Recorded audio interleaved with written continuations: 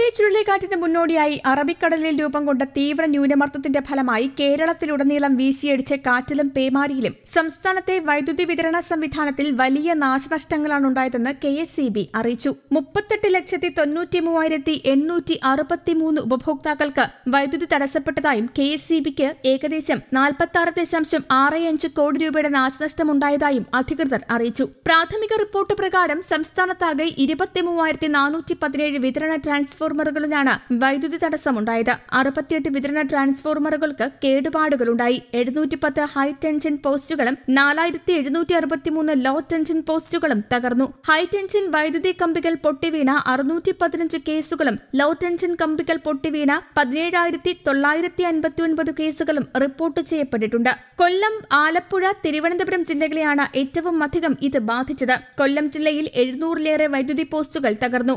ഏഴ് ലക്ഷത്തി ഇരുപത്തൊൻപതിനായിരത്തി എണ്ണൂറ്റി എൺപത്തിയെട്ട് പേർക്ക് വൈദ്യുതി മുടങ്ങി. ആലപ്പുഴ ജില്ലയിൽ അറുന്നൂറിൽ പരം പോസ്റ്റുകളാണ് കേടായത്. അഞ്ച് ലക്ഷത്തി എൺപത്തി മൂവായിരത്തി ഇരുന്നൂറ്റി പതിനാറ് പേർക്ക് വൈദ്യുതി തടസ്സമുണ്ടായി. തിരുവനന്തപുരം ജില്ലയിൽ തൊള്ളായിരത്തി അൻപതിലേറെ പോസ്റ്റുകൾക്കാണ് കേടുപാടുകൾ സംഭവിച്ചത്. ആറ് ലക്ഷത്തി നാൽപ്പത്തി ഒൻപതിനായിരത്തി ഒരുന്നൂറ്റി മുപ്പത്തൊൻപത് ഉപഭോക്താക്കൾക്കാണ് വൈദ്യുതി ബന്ധം തടസ്സമായത്. കൊറോണ ചികിത്സാ കേന്ദ്രങ്ങളിലേക്കും ഓക്സിജൻ പ്ലാന്റുകളിലേക്കും വാക്സിൻ വിതരണ സംഭരണ കേന്ദ്രങ്ങളിലേക്കുമുള്ള വൈദ്യുതി യുദ്ധകാലാടിസ്ഥാനത്തിൽ തന്നെ പുനഃസ്ഥാപിച്ചു നൽകിയതായി കെ വ്യക്തമാക്കി. വിതരണ ട്രാൻസ്ഫോർമറുകൾ എച്ച് ടി ലൈനുകൾ എൽ ടി ലൈനുകൾ വ്യക്തിഗത പരാതികൾ എന്നിങ്ങനെയുള്ള മുൻഗണനാക്രമത്തിൽ ഒട്ടുമിക്ക തകരാറുകളും പരിഹരിച്ചു കഴിഞ്ഞു. ബാക്കിയുള്ളവ എത്രയും വേഗം പരിഹരിക്കാനുള്ള തീവ്രയത്നം തുടരുകയാണെന്നും കെ സി ബി വാർത്താക്കുറിപ്പിൽ വ്യക്തമാക്കി. സംസ്ഥാനത്തിന്റെ വിവിധ ഭാഗങ്ങളിൽ വൈദ്യുതി വരും ദിവസങ്ങളിലും തടസ്സം നേരിടും. News desk Kerala Kaumudi.